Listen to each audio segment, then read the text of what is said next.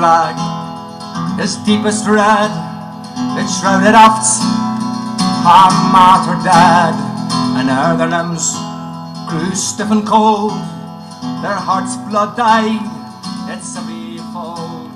So raise the scarlet standard high.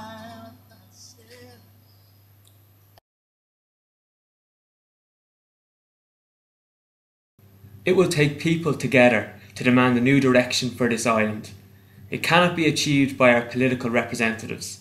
It will not come about by voting once every few years. It will require protest. It will require a united movement. It will require people standing together, united in opposition to big business and their cronies in Dáil Éireann and the Assembly.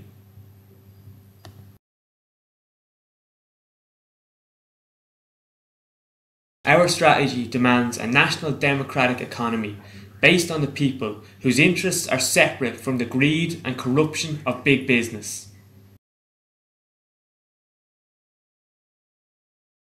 We support an alliance of workers, small farmers, small business, the unemployed, and the poor, who have a shared common experience having been screwed by monopoly capitalism. They all have an interest in demanding an alternative.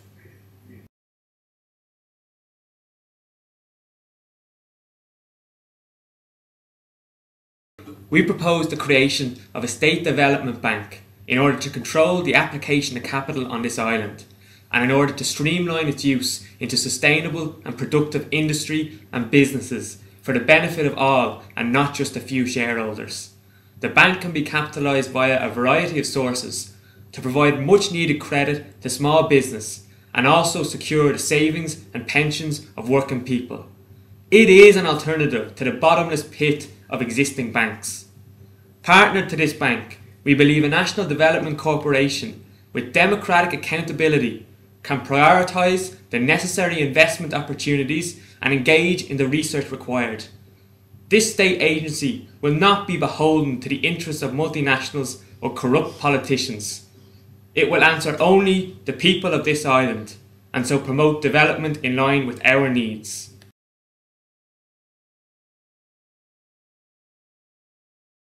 We also need to control our own natural resources.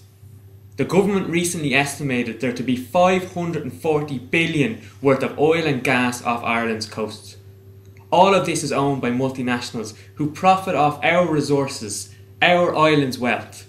We support the public ownership of these energy resources and any expertise required can be brought in where necessary under public contract. The Common Fisheries Policy enforced upon us from Brussels has cost the Irish people hundreds of billions of euro.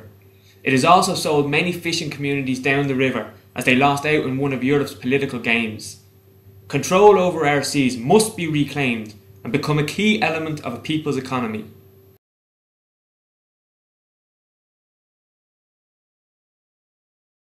Capitalist development globally has driven dependence upon non renewable energy that is destroying our environment while enriching the few.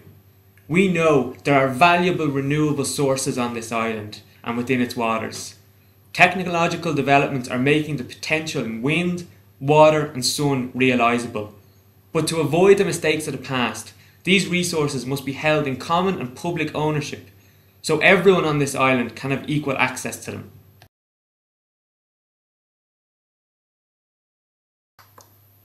It a song, Chicago swells, it's surging to wrong, so is the stand that and die, though cowards flinch and traitors sneer. We keep the red flag flying.